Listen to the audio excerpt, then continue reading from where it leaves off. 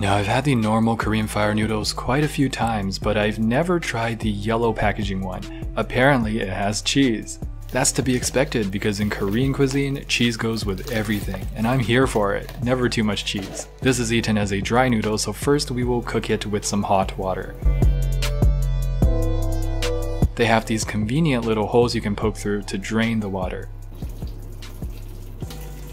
Next, we can add our seasoning packets. The red one seems like the typical delicious Samyang hot sauce, and the other one has powdered cheese and seaweed bits. Yum. Mix it together and we're ready to go. Oh yeah, it has the same deliciously spicy flavor from the original with an additional cheesy flavor. That also takes the heat off as well, but it's still quite spicy. This noodle is bomb.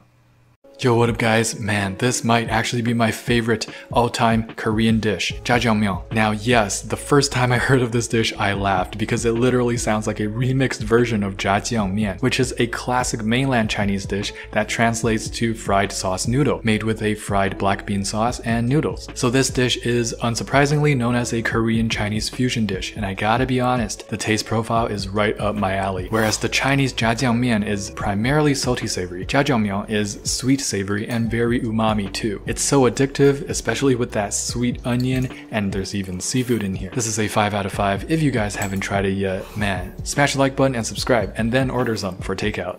Tis the day that the Lord has made. Korean fire noodles, hot oil.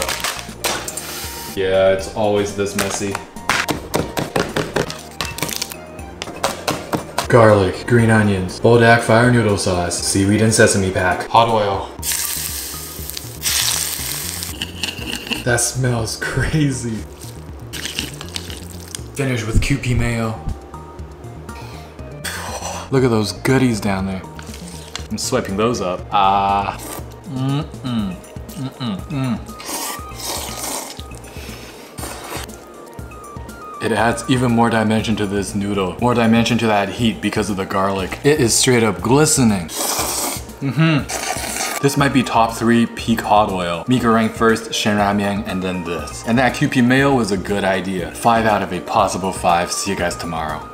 Yo guys, have you ever tried this Korean dish called jjamppong? Now I don't think I'm saying it right or authentically, but it's basically this Korean style spicy seafood noodles. And that combination of words alone is able to activate my saliva glands. Look at that color and look at what's inside. Onions cooked to sweet, translucent deliciousness. All that amazing flavor soaked into the broth, and the broth itself is beyond words to me. It's seafoody, tangy, satisfying, spicy. I could eat this all day. They don't skimp out on the actual seafood either. We got squid, shrimp, mussels, and more. I always feel like the broth is 90% this entire dish, and that most people get it because they can drink this amazing broth. But with the yummy ramen-like noodles, there is nothing else to say. 5 out of 5, smash that like button and subscribe for more. What is going on, Wang Gang? Today we're at this awesome Korean joint called Suda. They're serving up this massive hot plate of bulgogi with matzo cheese, sweet corn, tamago, spicy green onion, and of course rice. Look at that cheese pull. This place is ridiculous. I've been here a couple times and I highly recommend their oshi rolls as well. This is how we do. Combine everything together. Get some of that rice, get some spicy green onions, bit of tamago, and the cheesiest, corniest bulgogi I've ever had. Bulgogi is already pretty delicious on its own, but if you add this level of cheesiness to it, man, that is a 5 out of 5 right there. Like I've been saying, man, Korean people know what's up. When in doubt, just put cheese on it. You can never go wrong. We did indeed do a good number on this plate, but we always leave extremely full and satisfied. See you guys tomorrow.